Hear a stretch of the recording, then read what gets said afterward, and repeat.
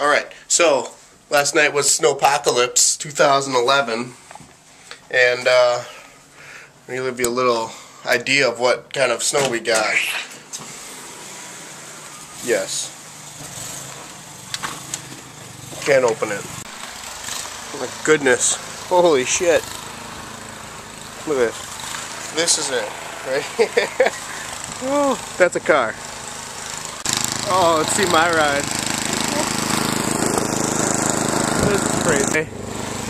Getting footage. Oh my god, my car is wow. Well, it's not as bad as this. This is.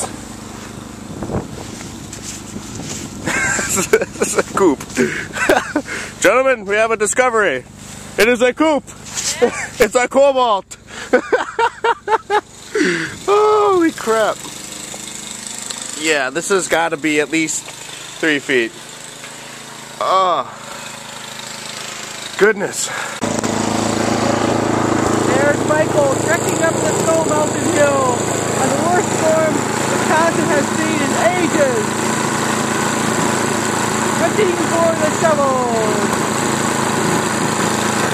Ta-da! It's about two hours, about an hour and a half in. Making some headway. Oh, here's the ground. Here's how tall it is. I don't know if you can see it, it's really bright, but it's up to above my knee. I'm about that tall, so. The guys with ATVs and plows, snow blowers, all the way down the block. All the way down the neighborhood. Holy moly. Once in a while I see a car come through here. That's about it. So yeah. Even our snowblower, we had this really nice one, isn't he's actually picking it all up. this is ridiculous. Two hours later. Holy shit, we're done. Kind of. I gotta dig my car out. Yeah. Alright, it's over. Hopefully. Uh, this is it. Yeah.